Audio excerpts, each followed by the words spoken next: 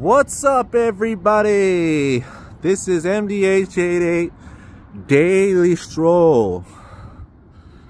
Uh, they're keeping me in here for quite a long extended period of time. And I don't like it very much anymore, you know? I'm ready to go home with my wife.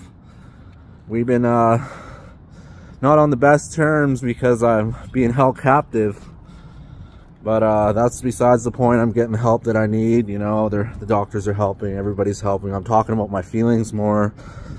And uh, it's really opening up doors for me.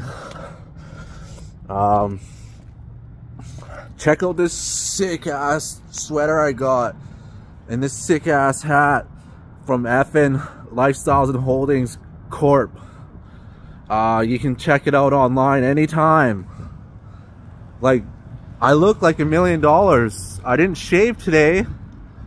Only because uh, I'm waiting for my shower at home. Because I'm going to get a day pass or I want to be let out actually. But uh, um, thank you for tuning in every day.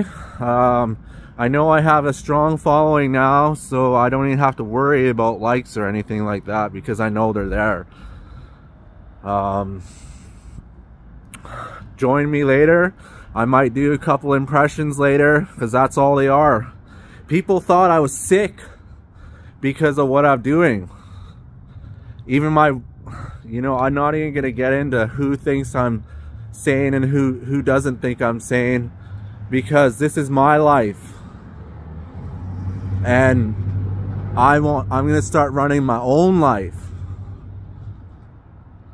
This, this is just the beginning. I'm not making money off this yet, but I, I'm going to generate some money. My music is top of the line. Somebody told me I should be a billionaire. Like, I wrote a song right here for my wife. It's the best song I've ever written in my whole entire career.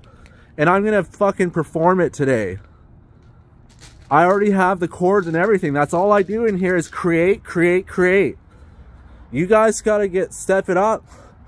If you're sitting there depressed and watching me and you're like, Dave, why are you so happy, man? You're in the hospital. Well, guess what? I haven't stopped creating anything since I've been in. Since I've been in the hospital. I've every day, like constantly working on new, new ideas and new friendship, new goals.